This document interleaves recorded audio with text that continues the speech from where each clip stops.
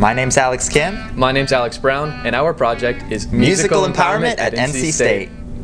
I may be studying chemical engineering, but I'd be nothing if it weren't for music. That truly is my passion in life, and ever since I was little, that's all I've done in my spare time whenever I need something to help me through a difficult situation or to inspire me. I always go back to music.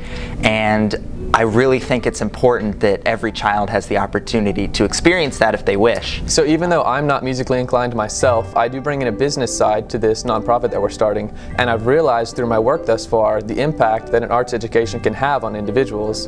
Uh, when I was growing up in Charlotte, I worked with a similar program to the one I'm working on now, where they taught music lessons to children in an elementary school. And when I came to Raleigh, I knew I wanted to help bring something like that to the Raleigh community. And so I found this organization in Chapel Hill called Musical Empowerment, and they're doing something very similar over there. And so I reached out to them and asked how we could help bring their program here to Raleigh to really help inspire the, the children in the community. What we're really focused on is giving weekly music lessons, a free instrument, and a one-on-one mentor-mentee relationship for these underprivileged students.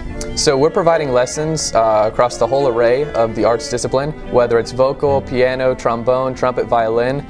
The instruments we have, we can find instructors for it, and then students with the demand. So our limiting factor is the instruments we can find. However, we're open to any and all donations, and we are, in fact, teaching lessons across the board. It's really very simple how CGIU showed me the impact that college students can have around the world, and that's simply because they're getting it done.